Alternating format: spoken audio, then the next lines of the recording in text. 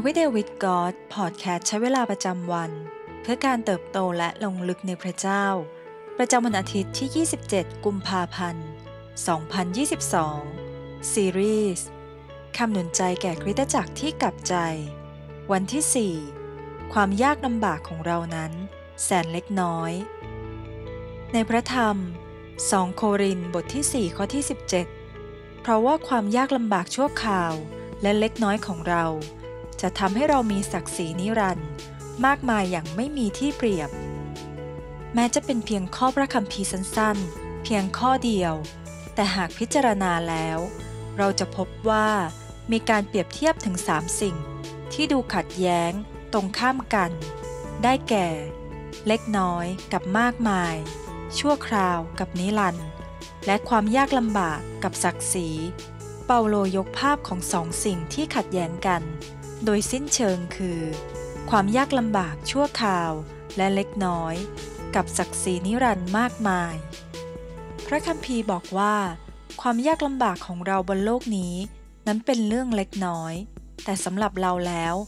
หลายคนกลับไม่รู้สึกเช่นนั้น กลับกัน หลายคนรู้สึกว่า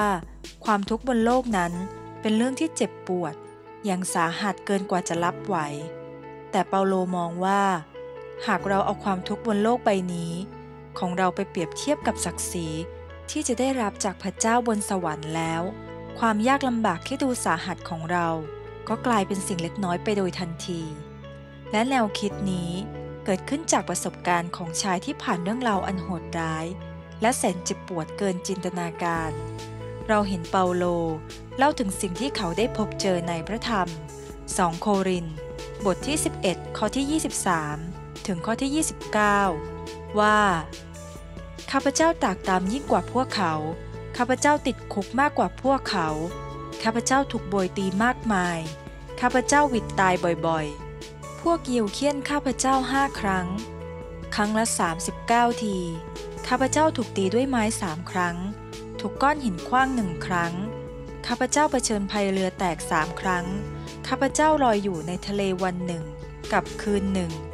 ข้าพเจ้าเดินทางบ่อยๆ ข้าพเจ้าเผชิญภัยในแม่น้ำ เผชิญโจรภัย เผชิญภัยจากชนชาติของข้าพเจ้าเอง เผชิญภัยจากคนต่างชาติ เผชิญภัยในเมือง เผชิญภัยในป่า เผชิญภัยในทะเล เผชิญภัยจากพี่น้องจอมปลอม ต้องตากตำและลำบาก ต้องอดหลับอดนอนบ่อยๆ ต้องหิว และกระหาย ต้องอดข้าวบ่อยๆ ต้องอดทนหนาวและเปลือยกาย นอกจากนั้น ยังมีสิ่งอื่นที่กดดันข้าพเจ้าอยู่ทุกๆวัน คือความกังวลเกี่ยวกับคริสตจักรทั้งหมด ใครบ้างที่อ่อนแอ และข้าพเจ้าไม่อ่อนแอด้วย ใครบ้างที่ถูกชักนำให้หลง และข้าพเจ้าไม่ทุกร้อน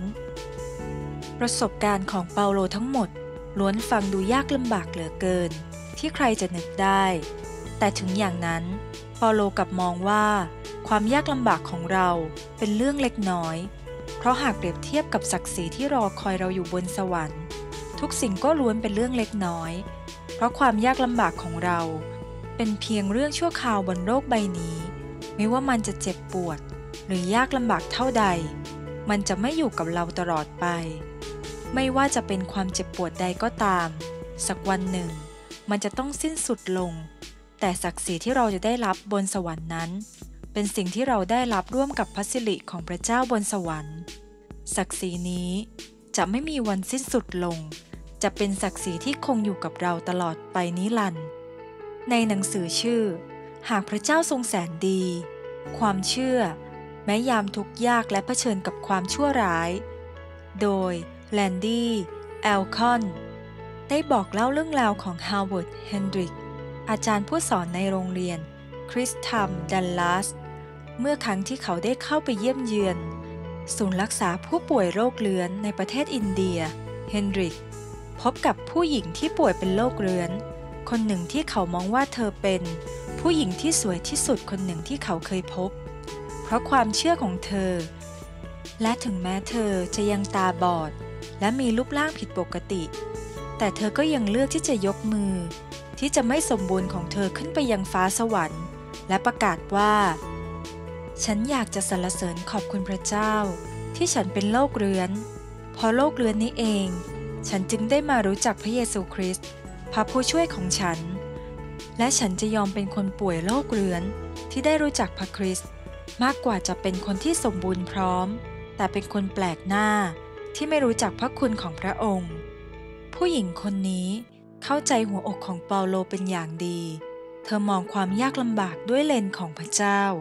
เธอเข้าใจว่าความยากลำบาก ที่คนมองว่าแสนสาหัสบนโลกใบนี้ ก็นับเป็นเรื่องเล็กน้อย และชั่วคราว เมื่อเทียบกับศักดิ์ศรีนิรันดร์อันมากมายที่รอคอยเราอยู่ในสวรรค์ ศักดิ์ศรีที่ไม่มีสิ่งใดเปรียบได้ และบนสวรรค์ เราจะได้รับเกียรติ และศักดิ์ศรีร่วมกับพระองค์ เป็นศักดิ์ศรีที่ยิ่งใหญ่ เกินกว่าที่เราจะจินตนาการได้อย่างแน่นอน ในพระธรรมฟิลิปปีบทที่ 3 ข้อที่ 7 ถึงข้อที่ 8 แต่ว่าอะไรที่เคยเป็นกำไรของข้าพเจ้า ข้าพเจ้าได้ถือว่าสิ่งนั้นเป็นการขาดทุนแล้ว เพราะเหตุพระคิด ยิ่งกว่านั้น ข้าพเจ้าถือว่าทุกสิ่งเป็นการขาดทุน เพราะเหตุคุณค่าอันสูงยิ่งของการได้รู้จักพระเยซูคริสต์องค์พระผู้เป็นเจ้าของข้าพเจ้า เพราะเหตุพระองค์ ข้าพเจ้ายอมขาดทุนทุกอย่าง และถือว่าสิ่งเหล่านั้นเป็นเหมือนเศษขยะ เพื่อว่าข้าพเจ้าจะได้พระคริสต์เป็นกำไร สิ่งที่เราต้องใคร่ควรในวันนี้นะคะ มีประสบการณ์ความยากลำบากใด ที่เมื่อเราผ่านมาแล้ว เรารู้สึกขอบคุณพระเจ้า ที่ทำให้เราได้รับศักดิ์ศรีร่วมกับพระเจ้าบ้าง มีความยากลำบากใด ในวันนี้ ที่เราเลือกจะขอบคุณพระเจ้า ให้เราอธิษฐานด้วยกันนะคะ พระเจ้าที่รัก เราขอบคุณพระองค์ ที่วันนี้เราได้พระองค์ และนั่นทำให้เราได้ทุกสิ่ง เราขอบคุณที่เมื่อเรามีพระองค์ ทุกความยากลำบาก ทุกการลงแรง ทุกประสบการณ์ก็คุ้มค่า เมื่อเราได้รู้จักพระองค์ ขอพระองค์ทรงเป็นกำลังและเลี้ยวแรงของเรา ในการเผชิญทุกสิ่งบนโลกใบนี้ ขอทรงช่วยให้เราได้มีสายตาแบบเดียวกับพระองค์ มีมุมมองต่อความยากลำบากที่ถูกต้อง ขอประทานหัวใจที่เปี่ยมไปด้วยความหวังใจ และขอให้เราได้เลือก ที่จะขอบคุณพระองค์ได้ในทุกกรณี เราอธิษฐานต่อพระองค์ ในพระนามพระเยซูคริสต์เจ้า เอเมน ขอพระเจ้าอวยพรพี่น้องทุกท่านนะคะ